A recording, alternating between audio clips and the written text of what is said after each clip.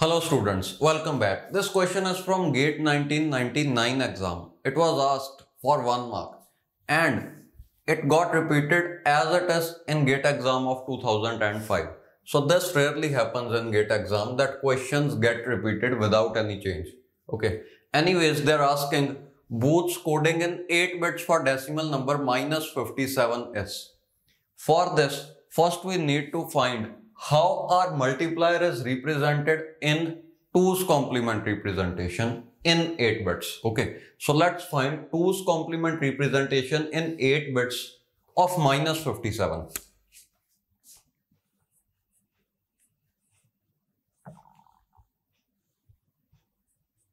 This is normal binary representation of plus 57.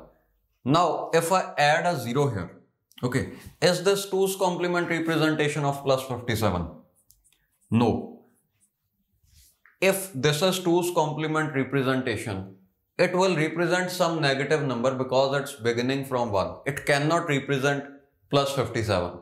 In normal binary representation, it is 57. Okay. Now to make it 2's complement representation of plus 57, I am adding a 0 here. And to make it 8 bits, I am adding one more 0 here. This is 2's complement representation of plus 57 in 8 bits. Now we want 2's complement representation of minus 57. For that, just take 2's complement of this pattern. It is 1, 1, 1, triple 0, double 1. Okay. So minus 57 will be represented like this. It is double 1, triple 0, triple 1. Just keep this pattern in mind.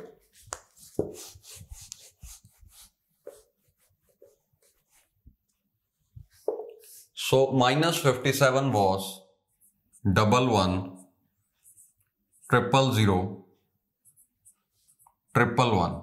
Okay. Now we need to find Booth's encoding of this multiplier. Okay. This is minus 57.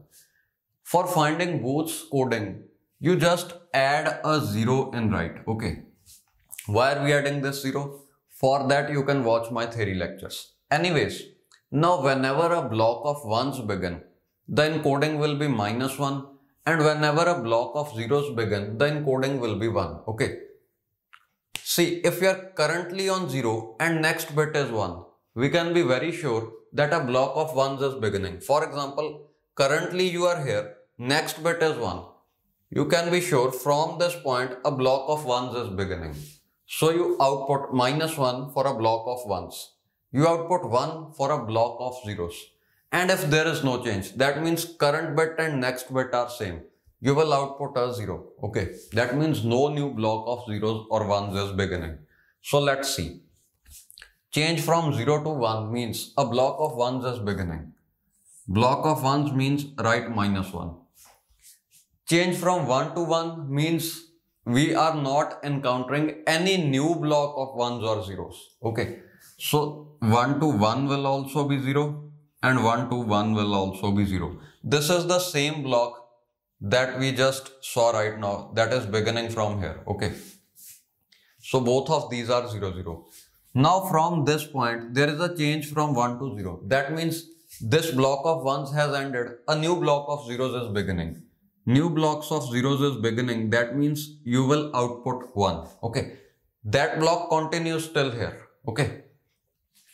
So both of these will be 0 0 now from here a block of ones is again beginning. You output minus 1 no change. That means you output 0 so Booth's encoding is 0 minus 1 0 0 0 minus 1 double 0 plus 1 double 0 minus 1.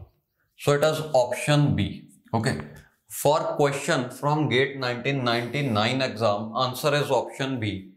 And for question from 2005, it is option A. Yeah. Because only option A ends with minus 1. Okay. So what is the significance of these zeros and these ones? Zeros represent only a shift is done. Okay. So at all these places, only shift is performed.